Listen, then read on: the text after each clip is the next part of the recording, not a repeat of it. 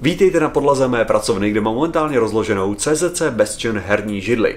Vydal jsem právě součástky z krabice a zaujalo mě hned několik věcí. Tohle je snad nejbytelnější hvězdná část židle, kterou jsem kdy viděl. To je samozřejmě ta věc, na kterou jdou kolečka, která drží celou židli a mám dvě jiné herní židle z různých cenových kategorií a nic to nemá takhle neuvěřitelně bytelný. Jako, takže předpokládám, že to něco vydrží. Já jsem celkem průměrný hráč, mám průměrnou váhu, mám průměrnou výšku, ale myslím si, že jsou tady hráči, kteří rozhodně ocení, když to má nějakou pořádnou výdrž. Druhá věc, která mě zaujala, je tohle. Několik lidí se mi už stěžovalo, že pokud používají nějaké herní židle, tak se jim zdá, že jim vlastně tak nějak stísňují ramena. Já nemám tenhle ten problém, pravděpodobně potřebuji víc cvičit na ramena, abych chtěl širší ramena a měl tenhle ten problém, ale zdá se, že právě CZC Bastion tohle to docela řeší, protože tady nabízí docela široký prostor. No, dám to dohromady a zjistím, jak se na to bude skutečně sedět.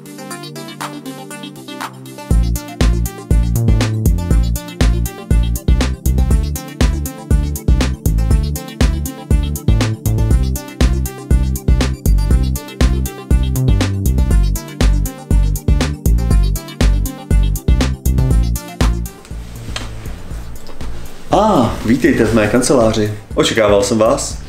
Jako už nějakou dobu používám tuhle tu židli a zvykl jsem si. Zvykl jsem si velice rychle.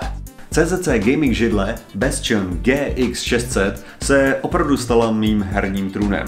Můžete si všimnout, že já bohužel nepoužívám tenhle ten krásný CZC Gaming semišový polštářek, který je opravdu, opravdu úžasný, ale bohužel já preferuji, aby židle byla v tomto úhlu, takže mi úplně nevyhovuje. Pokud preferujete úhel nižší, tak samozřejmě není problém ji používat. Co mám ale hodně rád, je tento bederní polštářek. Židle má přesně vše, co byste očekávali. Má nastavitelné podpěrky ve všech směrech, i v těch, který byste předpokládali, že snad není možné nastavovat, samozřejmě nakrucovat. Já osobně preferuji dole a krásně rovně. Co určitě potěší je to, co jste viděli na začátku a to absolutně krásné sklopení a leháro. Židle unese 160 kg, je krásně široká na ramena a má nádherný černo-červený design. Ale můžete ji mít i v šedé verzi. Používám ji už asi měsíc, mohli jste ji vidět jak na streamech, tak v mých videích a Popravdě nemám žádný důvod přestat ji používat. Mou předchozí židli má teď můj spolubydlící a popravdě